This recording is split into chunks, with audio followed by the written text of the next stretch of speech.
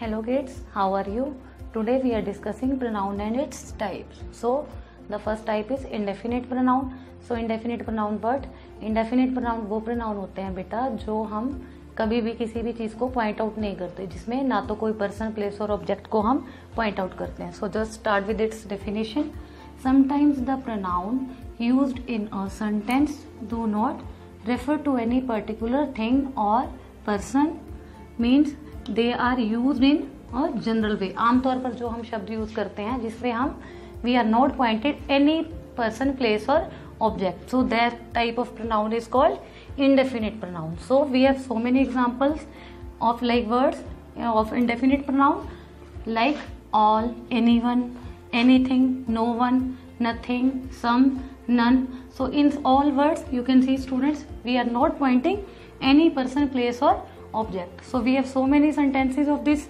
indefinite pronoun with examples. Like there is nobody who helps you.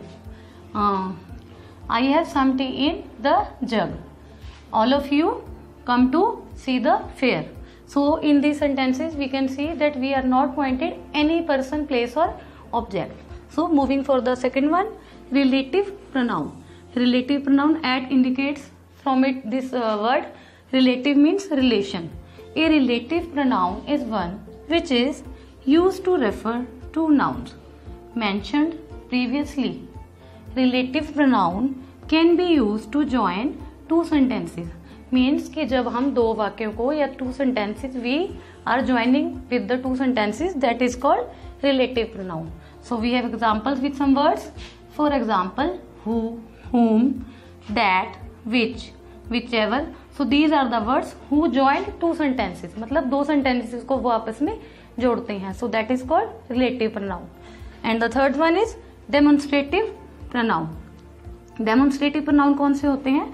Demonstrative pronoun वो होते हैं जिनसे हम किसी प्रॉपर प्रनाउन और नाउन को इंडिकेट और पॉइंट करते हैं डिस्क्राइब करते हैं।